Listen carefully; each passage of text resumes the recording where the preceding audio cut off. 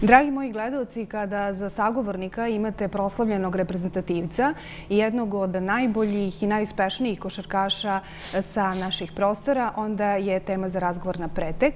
I moram zaista da vas obradujem i da vam kažem da je meni veliko zadovoljstvo i čast što danas razgovaram sa Stefanom Birčevićem. Stefane, dobrodošao. Hvala na ovako lepoj najavi. Bolje vas našao i drago mi je što sam na vašoj televiziji.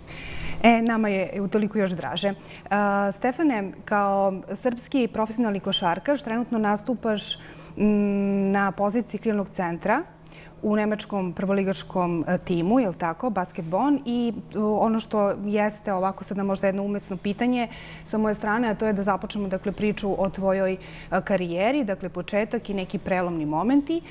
Interesantno je ono, sad ja moram da napravim malo duži ovaj uvod, da si igrao prvo za metalac, onda je tu bio radnički, onda estudiantes, da bi potom potpisao ugovor 2016. sa Partizanom, zatim odlaziš u Istanbul pa u Bonn, telefon. I eto sada moje pitanje otprilike glasi, gde ste se ili gde si se najbolje osjećao? Pa, sve na svoj način, ovaj, kako se zove, ima nek, nek, nek, neku lepotu. Ovaj. Sa 17 godina sam otišao u Valjevo, tu sam tu sam se zadržao pet godina i jednostavno tu sam proveo ovaj, možda i najlepše dane u Valjevu, tako da ovaj, tu sam neke prve, prve korake i vaspitanje i, i druženja i svega ovaj, lepog doživeo. Ovaj. Kasnije tri godine u Kragujevcu gde sam isto bio ovaj, u jednom jakom timu kada je Kragujevac bio najjači, čak sam bio posljednje godine i, i kapiten, ovaj, tako da mi je i to jedna, jedna ovaj, lepa, kako kažem, uspomena. Ovaj, svakako posle toga dve godine je došao Madrid, gde sam, gde, gde sam bio u jednom od najlepših grada u Evropi. Po meni možda imao sam priliku dosta da proputujem. Po meni možda i najlepši grad ovaj, gde, gde sam bio. Imao sam priliku tu da živim dve godine u jednom mnogo lepom delu grada i ovaj za jedan klub koji je koji koji se nalazi koji ima svoju halu i svoje navijače koji su u centru Madrida tako da ovaj sam se tamo lepo osjećao. Ovaj, kasnije je došao Partizan, gde je neki moj dečački san ispunjen. Ovaj, neki dečački san gde sam želeo da, da, da ovaj, odigram bar jednu sezonu u, u Partizanu. To je bila sezona 2016. na 2017. Tako da i to je isto jedna godina ovaj, jako, jako lepa za mene. Gde sam možda igrao i najbolju košarku i onda kasnije sam ovaj, sljedeće godine otišao u Istanbul, gdje je isto neopisivo lepo bilo, zato što je to jedan fenomenalan grad sa 20 miliona ljudi na granici Evrope i Azije, gdje je na prelepom Bosforu, tako da ovaj, bio bio jako lep, lep i dobar klub i, i, uživao sam i ti godinu dana u Istanbulu. E, kasnije, kasnije sam eto ostao ostao u Turskoj u jednom gradu Bandirma gde nisam, nisam baš prošao slavno. To mi je možda najnegativnije iskustvo u karijeri. To je početak ove godine. E, ovaj, gde sam bio tri meseca, ali sam se odatle vrlo brzo preserio već u decembru ovaj, u Telekom Basketball gde sam završio sada sezonu i sada sam na pauzi i sa njima mi istek ugovor. Trenutno sam Trenutno sam slobodan i trenutno ovaj, razmatramo gde ću nastaviti, Neke dalje mogućnosti. Da, nastaviti karijeru. E, dobro, za reprezentaciju Srbije igrao si na evropskom, na svetskom prvenstvu, na olimpijskim igrama i sada od svih tih postignutih uh, uspeha na takmičenjima koji ti je najdrži? Pa pr prvu priliku sam imao da 2009. da se susretnem sa reprezentacijom, tada sam bio prvi put pozvan, bio sam u mladoj reprezentaciji, tada smo nastupali na na evropskom prvenstvu. To mi je prvo iskustvo sa reprezentacijom. Kasnije sam 2011. bio u univerzitetskoj reprezentaciji gdje smo bili na univerzijadi u Kini, u Shenzhenu gdje smo uzeli zlato. To je isto jedno jako takmičenje. To je kao svetsko prvenstvo za igrače do 25 godina. 24 godine, tačnije, gdje smo uzeli zlato. Kasnije, kasnije smo... Kasnije moj put je bio u reprezentaciji 2013 kod Dušana Iković, to je moj prvi susret sa seniorskom reprezentacijom. 2013. kod Dušana Ikovića, gde sam trebao da igram Evropsko prvenstvo u Sloveniji, ali nažalost desila se povreda, tu sam ovaj, zadobio prelom kosti ovaj, pete metatazalne na, na stopalu i nisam jednostavno mogao da, da nastavim pripreme. Eto i 2014. sam imao sreću E, sa Miroslavom Nikolićem i, i, i Sale Đorđević kad je došao za selektora, gde, je moja prvo neopisio sreća bila da upoznam tog čovjeka, kasnije i da, i da, da sarađujem s njim i da, da mi on bude i, i, i, i trener jednostavno. Kao klinac sam imao njegove postere u, u svojoj sobi, a kasnije se ispostavilo da će mi on i, i biti trener, da će imati neki prijateljski odnos. Eto, 2014. sam nastupao na svjetskom prvenstvu u, u, u Španiji koja je održavano u Granadi i Madridu, gdje smo uzeli srebrnu medalju, isto bili u finalu. 2016. sam e, isto bio u reprezentaciji, igrali smo kvalifikacije za olimpijadu, kvalifikovali se i kasnije na olimpijadi ovaj, isto uspešno došli do finala i uzeli, uzeli također po meni najznačajniju srebrnu medalju na olimpijskim igrama koja je, koja je za mene nezaboravno i koja je, mislim, nebitno koji je sport u pitanju, mislim da, da su olimpijske igre ovaj, vrh svakog sportiste i, i želja svakog sportiste se nađe na, na olimpijskim igrama, kasnije i uzeti medalju na jednom takvom takmičenju je stvarno nešto, nešto za, za, za sva vremena, kako, kako reći. I 2017. kasnije eto, učestvu sam i na Evropskom prvenstvu gdje smo nesrećno, gdje smo imali jako lepu šansu da budemo prvaci Evrope. Malo nam je falilo, nismo uspeli i opet eto, treća za redom srebrna medalja, ovaj, tako da to je, to je neko, ovaj, kasnije sad smo igrali 2018. i 2019. smo igrali kvalifikacije za ovo svetsko prvenstvo, da smo se uspešno kvalifikovali, bio sam i deo tog tima.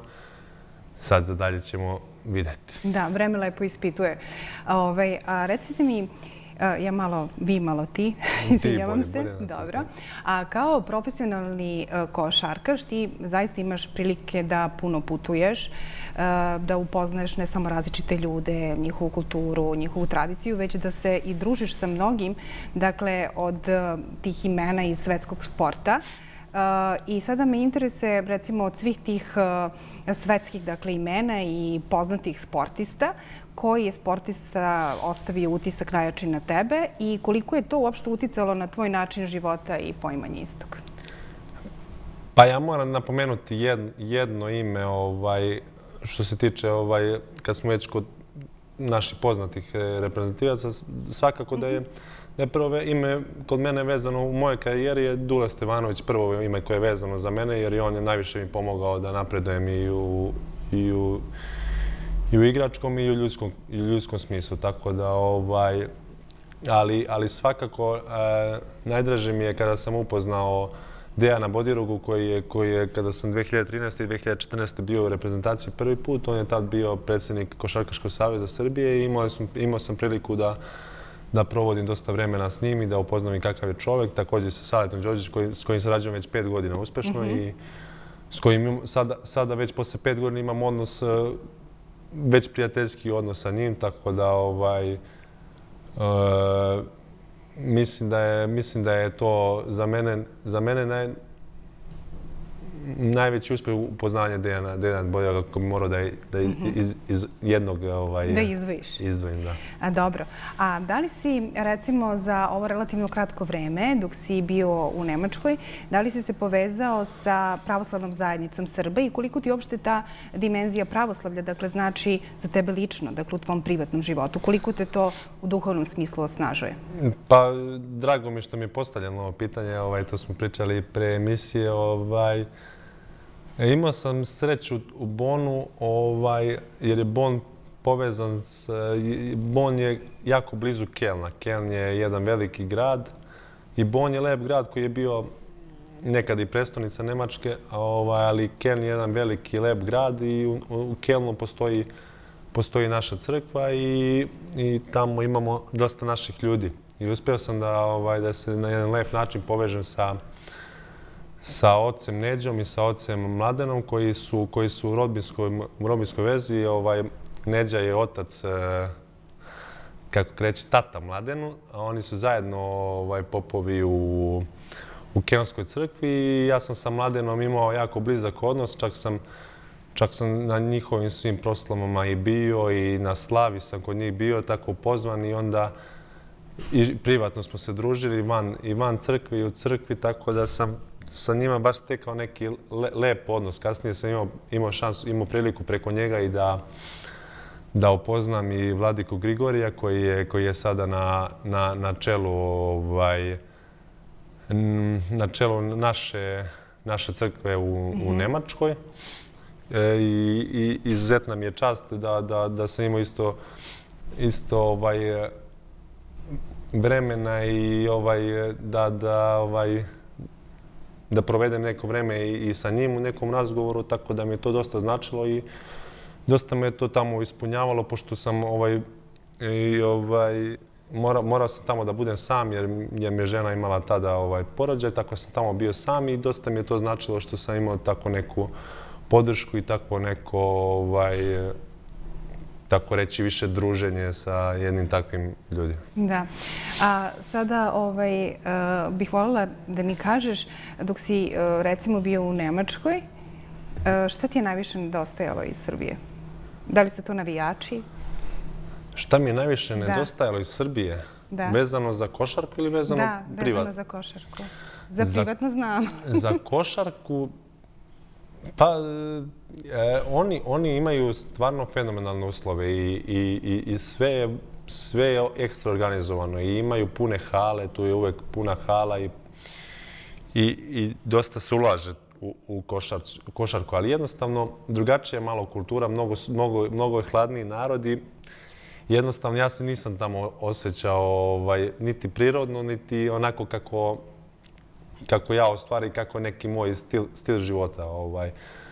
E, košarkaški bi mogu profesionalno da igram u Nemačkoj, ali za neki život ja nikad ne bi mogao ovaj, e, na duže staze tu, tu da izdržim. Tako da spalilo mi je ta Svakako naši navijači su mnogo, mnogo, mnogo, mnogo bolji i mnogo ovaj, topliji tako, i mnogo iskreniji nego, nego tamo.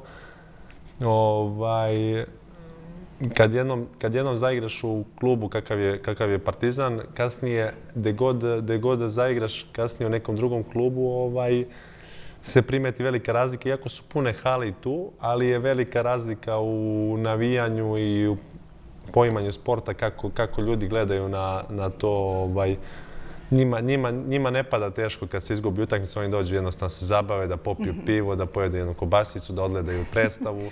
nema I njima, tog njima, njima, nema stresa toliko kod da, njih, ovaj, da. li je, da li je došlo do poraza ili do pobjede. Da, kao kod nas žučno nabijenje, proradi je, adrenalin, nas, temperament da, je da. Da, karakterističan dobro i ta uopšte psihologija malo je, Malo je Španija približnija nama, nama malo, je, malo je tamo mi je bilo približnije i lepše, ali ovaj, ali sve na svoj način onako ima svoje neke prednosti, a možda i po neku manu. A dobro, evo sada, pošto ja znam da si ti nebrojeno puta naglašavao svoju vezanost za Šopić i za Lazarevac, ne samo po reklom, nego uopšte.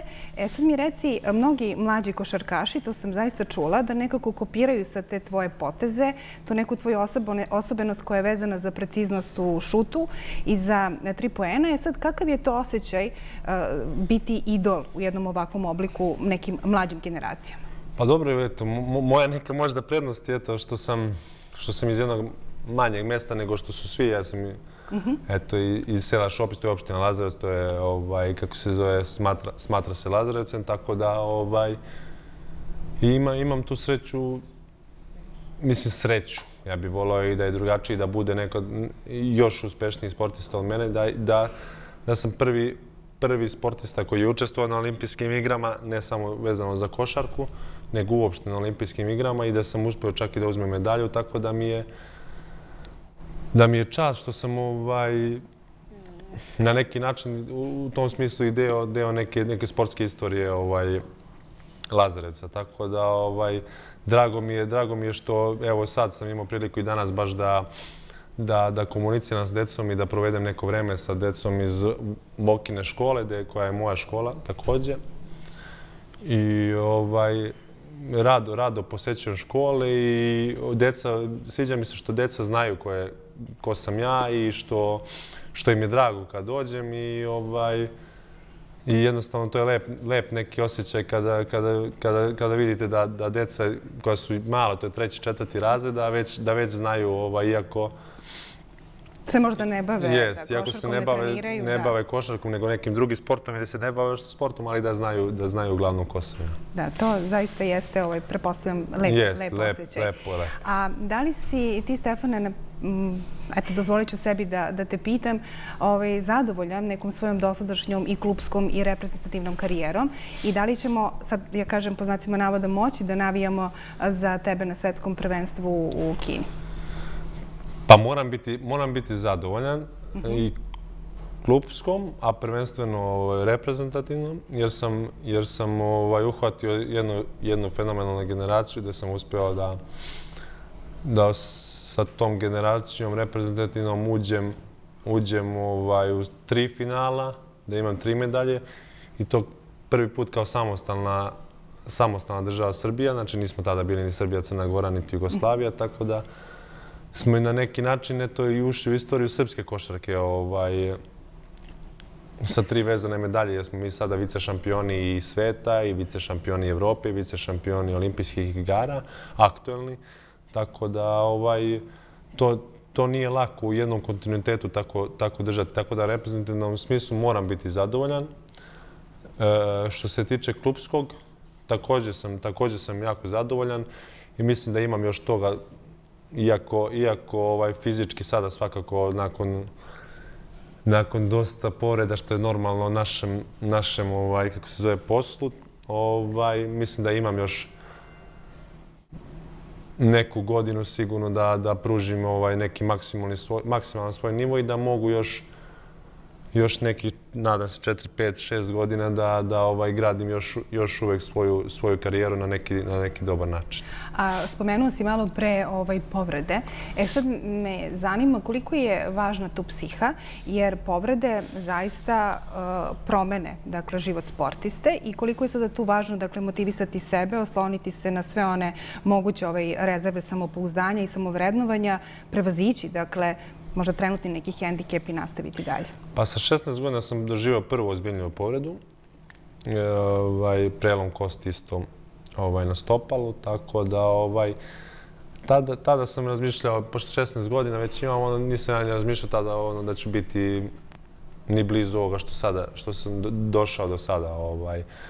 Tako da tad sam već razmišljao napuštanje košarke, mi je to sve bilo naporno, jer to, taj, taj proces oporavka mi je trajao tri mjeseca gips, pa tri mjeseca oporavak, pa terapije. I sve to trajalo jedno pet, šest mjeseci sigurno. I taj povratak neki na teren, sve to jako, jako, jako, jako naporno. I, i mnogo je, mnogo, kako bi, kako bi rekao, provedeš tri, četiri mjeseca na štakama, ideš u školu na štakama i, i nije baš neki lep osjećaj. Ovaj. Međutim, nastavio sam i ovaj, posle toga nisam imao povredu do, do Kragujevca, gde sam, gde sam isto koleno tada imao problem, pa sam tu pravio pauzu četiri mjeseca, ali tad sam već postao profesionalac i tad sam to gledao sa neke profesionalne strane da, da treba da se vratim što pre, da što bolje se oporavim. I gledao sam to na neki pozitivan način da se, da se vratim što bolje iz te povrede da sam uspio da se vratim kako treba iz te povrede.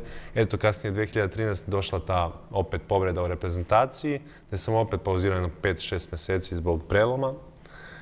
I vratio sam se, ta sezona mi je bila možda i jedna od najboljih posle te povrede. Ovaj, vratio sam se čak i bolji na, na teren. Jednostavno, mislim da sam psihički bio jak i spreman za to i, o, i, i eto, kasnije došla i to svetsko prvenstvo, gde sam na svetskom prvenstvu isto imao povredu na kolena, gde sam igrao povređen sa, sa otečenim kolenom, ali nisam teo da, da, odustaneš. da odustanem, jer je to jedinstvena šansa.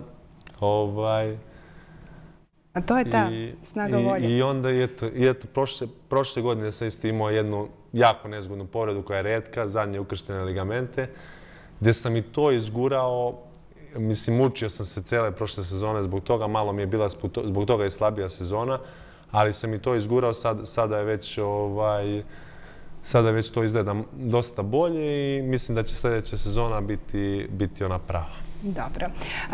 Ostvario si se i ulozi roditelja i tvoji nekako su sada planovi za budućnost ovaj, veliki, ali me zanima taj spoj dakle, karijere i porodice koja je normalno sinonim za utočište, za sigurnost, temelj dakle, svega što ti jesi. Pa svakako, ja sam već u braku četiri godine, ovaj, od ove godine sam i postao tata, tako da je to jednostavno e, sve medalje koje sam dobio i kao što kažemo olimpijske igre i sve što wow i što je, što je jako lep osjećaj, ali ništa ne može da se poredi sa tim eh, ovaj, kada, kada, je, kada stigne ovaj, kada stigne bebac, jednostavno to, je, to mi je najlepši osjećaj koji sam, koji sam doživao. Svakako, žena mi je podrška, ona, ide, ona je uvek bila sa mnom uz mene, tako da ovaj, imam, imam podršku i, i, i od svoje kuće, uvek, uvek je tu otac bio uz mene, majka bila uz mene, sestra svakako koja, koja i dalje skuplja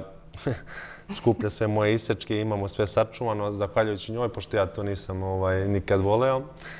Ovaj, ali ona, eto, zahvaljujući njoj imam sve, sve to na nekom... Dokumentaciju. Jeste, dokumentovano da mogu da se pohvalim, pohvalim kasnije ako bude trebalo unucima, što se kaže. Ovaj, ali svakako da je porodica meni jako bitna i ovaj, eto sad žena i beba su mi ključ i ovaj, sa njima sve, sve dalje. Sve dalje, tako je. Košarkaški klub La Basket organizuje letnju, letnju školu košarke za decu od četvrtog razreda osnovnih škola. U radu te škole e, ne samo da, će, da ćeš ti učestvovati, već ćeš ih zapravo i promovisati. Pa e, sada, sada, sada smo malo više uključili ovaj, tu školu košarke koja, koja će obuhvatati drugi, treći razred i četvrti mhm. ovaj, osnovne škole. I tu ćemo vidjeti da što više dece upišemo, da, da, ću, da ću se ja aktivirati dok sam tu i, de, i, i ovaj, Miljan će biti trener i Dule Stevanović će pokušavati što češće da dolazi tu da bude i obezbedili smo neke termine i obezbedili smo ovaj, Bezbedili smo i i lopte od tigra koji su nam koji su nam izašli u susret i i zahvalio bi se i Gala vodi iz Mionice koja je koja je stala uz nas i koji i koji nam stvarno stvarno dosta pomažu. E, također i opština Lazarevac je stala uz naš uz naš klub i ovaj imamo neku tu sad e, malo da dignemo klub. Ja sam se malo sad istimo ove, ove godine da to malo bolje bolje izgleda jer se i prvi tim pasira sada u prvu srpsku ligu, pa ćemo vidjeti njih da zadržimo tu ako budemo uspeli. Tako da, ali sad nam je okupacija da što više okupimo dece ovaj, tog eh, uzrasta drugi, treći, četvrti razred osnovne škole, da im bude tu zanimljivo i da što bolje im predstavimo košarku, ovaj, da, da zavole košarku. Kako se, Naravno, kako se ja se nadam da ćeš ti to učiniti u najboljem mogućem svetlu, da ćeš promovisati košarku koja je zapravo timski sport. Jest. I, i, i da, da kažem da ovaj, eto, moram da kažem i da, da, da, da, da Srbija jeste i uvek je bila zemlja košarke, tako da se nadam da će tako, tako i ostati i da mi, mi kao reprezentacija to, to, to i dalje sačuvavamo i mislim da Mislim da Srbija i treba da se gleda kao jedna, jedna zemlja košarke. Smo je stvarno jedan talentovan narod sa 5-6 miliona, da smo uvek u vrhu svetske košarke. Ovaj, to treba tako i da se nastavi. Treba što više dece da se, da se odluči za košarku. Tako je. Uh, želim ti sve najbolje u nastavku karijere. Uh, također veliku zahvalnost i dugujem na izdvojenom vremenu i na ovom gostovanju. Bilo mi je zadovoljstvo. Hvala vam. Hvala vam. E, super.